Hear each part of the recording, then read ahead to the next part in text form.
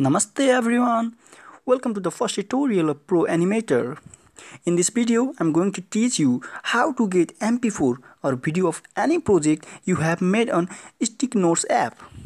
If you are new with Stick Nodes, I'm sure that you must have been sad to know that the project that you have made with full enthusiasm, hard work and spending a lot of time can't be extracted. In pre-version of Stick Node, you will only get option for exporting GIF but you won't believe that now you can easily get video of your lovely project in no time and I'm sure that this trick takes less time than exporting a video in pro version or exporting in GIF format. If you follow this trick, you can also add sound, voice and other effects easily. So without wasting any more time, let's get started. Here you can see the short project that I have made at introduction section. Now it's time to export it. I don't have any option for exporting video. I can get for option for exporting GIF and it is clearly written MP4 for pro version only. But don't worry friends, let's apply our trick.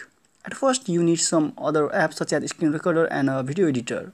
You can use any of such app but personally I prefer game screen recorder and KineMaster.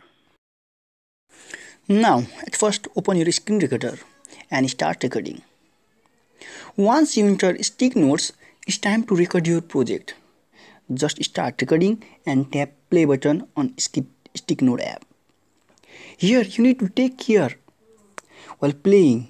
Play your video after few seconds of starting recording so that later on we can cut unwanted part and get perfect video. Now it's time to polish your project. Open KineMaster app to edit your video. Select screen size 16 to 9 and from media button select our recorded project. Then cut unwanted part from starting and ending like I did. Now it is the most important part of our trick that is cropping video. Using crop button crop it in the best size that fit to our screen. If you want to add sound select it from here and click here for voice.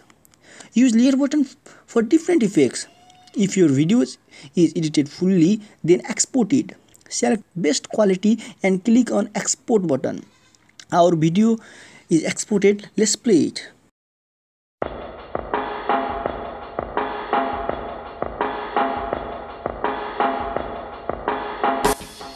Thank you friend for watching this video.